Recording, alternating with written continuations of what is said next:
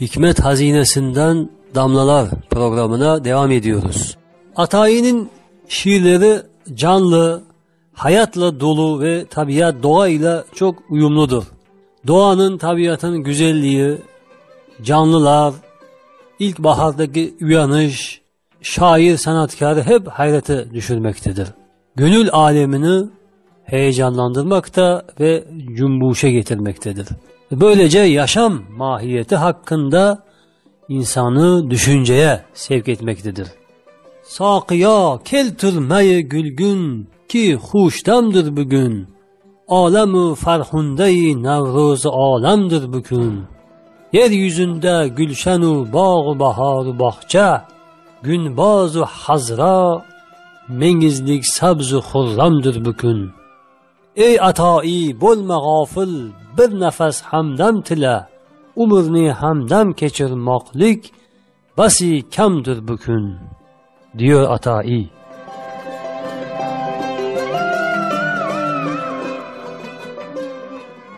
Açıklaması ey saki gül gibi kızıl meysun bugün hoş bir gündür bugün Nevruz'dur alemin mesut olduğu bir gündür Bahar geldi, yeryüzünü bağ bahçelerle doldu.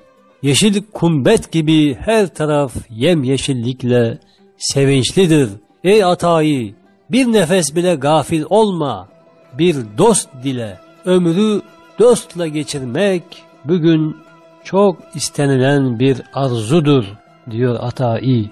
Atayı'nın liriğinde, şiirlerinde birçok geleneksel ve mifolojik tip ve timsaller, peygamberlerin simaları göze çarpmaktadır.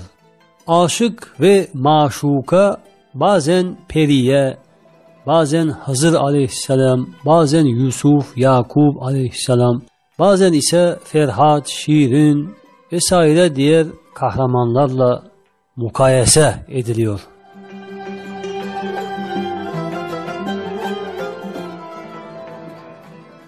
Ne cansen ey pari ruhsara mahbub Qamuq boshdan oyoq matbuu marg'ub Sanga bersin ilohi Nuh umrun Manga ham furqatingda sabr ayyub Yani şair sevgilisine hitap ediyor.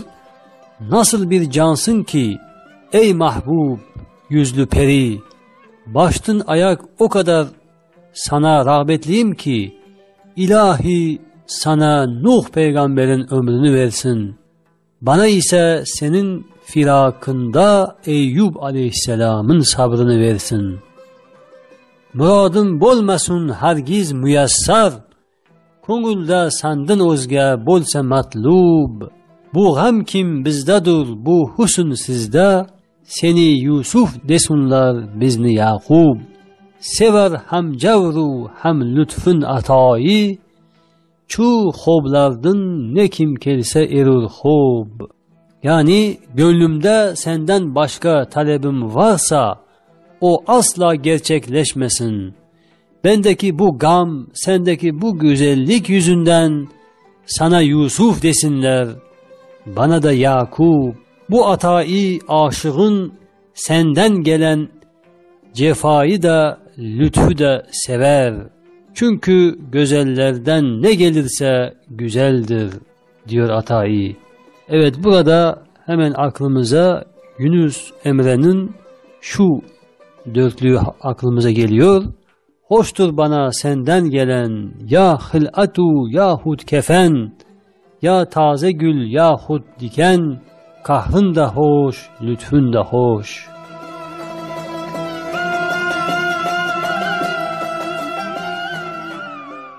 Atai şiirlerindeki bazı beyitler insanı hayat, ömür ve güzelliğin mana mahiyeti hakkında düşünmeye sevk etmekte. Okuyuculara manevi ahlaki açıdan kaynak olarak hizmet etmektedir. Bolme bahar hüsnünge garraki bu hazanı umur bağı hayatta ne gülü kaygısı ne giyah ham Murni ozulda qilma xossa oshiq ko'ngilni Hüsn mülkünde tilersen kim Süleyman bolgasen.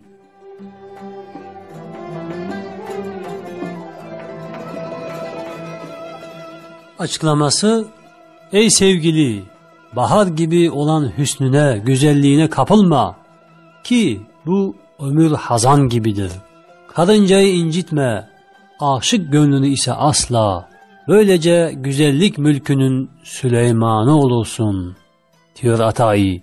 Atayi'nin gazellerini, şiirlerini okuduğumuzda onların halk koşuklarına has bir tarzda şekillendirildiğini görmekteyiz. Şair halk sanatını, halkın kullandığı atasözleri, masallar, örf ve adetleri eserlerinde çok iyi kullanmaktadır.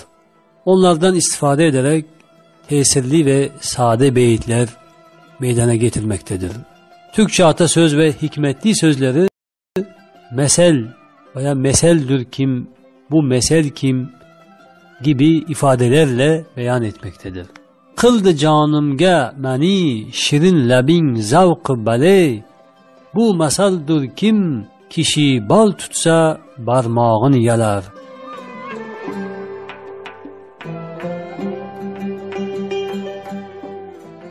Hiç şüphe yok ki Mevlana Atayi Belhi'nin şiirleri kendine özgü, halkın diline yakın, akıcı, sade ve cazibelidir. Onun kullandığı benzetmeler, karşılaştırmalar yerinde ve uygun, şairlik gözlemleri ise takdire layıktır.